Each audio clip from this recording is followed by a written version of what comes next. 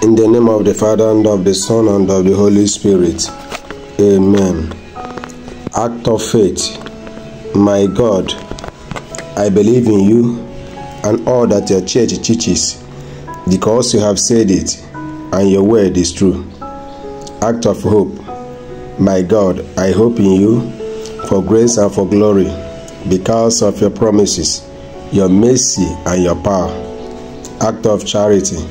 My God, because you are so good, I love you with all my heart, and for your sake, I love my neighbor as myself. Act of thanksgiving. Oh my God, I thank you for all the benefits which I have ever received from you, and especially this day.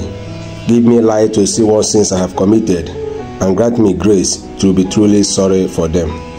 Act of contrition. Oh my God, because you are so good, I am very sorry that I have sinned against you, and by the help of your grace, I will not sin again. A reading from the Holy Gospel according to John, chapter 6, from verses 51 to 58. At that time, Jesus said to the crowds, I am the living bread which came down from heaven. If anyone eats of this bread, he will live forever. And the bread which I shall give for the life of the world is my flesh. The Jews then disputed among themselves, saying, How can this man give us his flesh to eat? So Jesus said to them, Truly, truly, I say to you, unless you eat the flesh of the Son of Man and drink his blood, you have no life in you. He who eats my flesh and drinks my blood has eternal life, and I will raise him up on the last day. For my flesh is food indeed, and my blood is drink indeed. He who eats my flesh and drinks my blood abides in me, and I in him. As the living Father sent me, and I live because of the Father, so he who eats me will live because of me. This is the bread which came down from heaven, not such as the fathers ate and died. He who eats this bread will live forever. The Gospel of the Lord. Our brief reflection will center on the Gospel message, which I entitled The Holy Eucharist as the Spiritual Food. The Holy Eucharist is the body and blood of our Lord Jesus Christ. It was during the Passover meal that Jesus ate with his apostles that he instituted the Holy Eucharist. Jesus is the true Lamb of God, sacrificed on the cross and offered again in an unbloody manner at the Mass. He is also the strength of our souls. He is the rich food that came down from heaven, which we call the Holy Communion. Holy Eucharist is the sacrament of the body and blood of our Lord Jesus Christ. Under the appearance of bread and wine, the body, the blood, soul, and divinity of Christ are really, truly, and substantially present for the nourishment of souls and as a sacrifice of the church. The Catholic Church celebrates the Holy Eucharist in obedience to the words of Jesus at the Last Supper. Do this in memory of me. Luke chapter 22, verse 19. At this time, Jesus gave the apostles both the power and command to bring the Holy Eucharist to us through the institution of the sacred priesthood. Holy Eucharist is at the center of our Christian faith. There are other names given to the Holy Eucharist. They include the Lord's Supper, the breaking of bread, and the table of the Lord.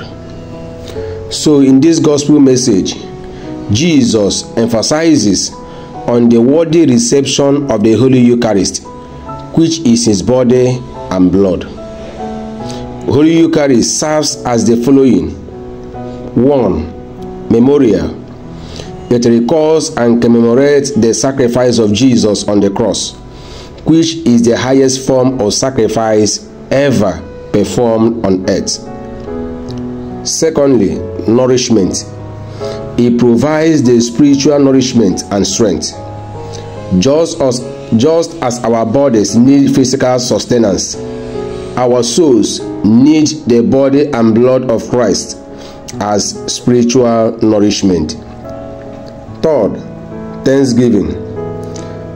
This expresses gratitude for God's love and redemption for mankind.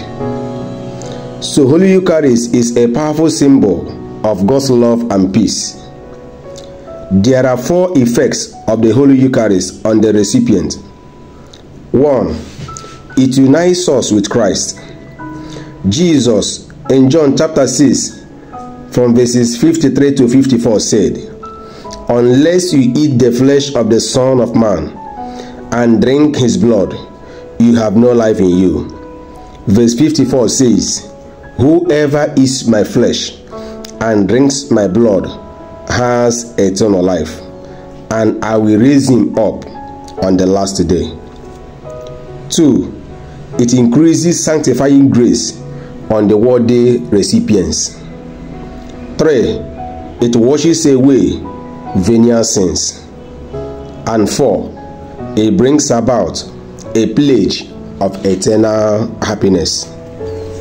So today we ask again how do we prepare ourselves for the worthy reception of the Holy Eucharist? We must be in the state of grace and examine ourselves very well before receiving it. St. Paul articulated this very well in 1 Corinthians chapter 11 from verses 27 to 30. Verse 27, St. Paul says, Whoever therefore eats the bread and drinks the cup of the Lord in an unworthy manner will be answerable for the body and blood of the Lord. Verse 29 says, For all who eat and drink without discerning the body, and eat and drink the cup, will have eternal eternal condemnation. Verse 30 says, For this reason, many of you are weak, and some have died. So we end this reflection with the famous hymn. Let us sing together. I am the bread of life. He who comes to me shall not hunger. He who believes in me shall not die. No man can come to me unless the Father draws him, and I will raise him up, and I will raise him up, and I will raise him up on the last day. Let us pray. Father Almighty, you teach us how to celebrate the Passover mystery of the Holy Eucharist in the Mass. Help us to understand your great love for us. May the goodness you now show us confirm our hope in your future mercy. May we celebrate the Holy Eucharist with reverence and love. For when we proclaim the death of the Lord, you continue the work of his redemption. All glory and praise be to you, to your divine Son, and to the Holy Spirit, now and forever.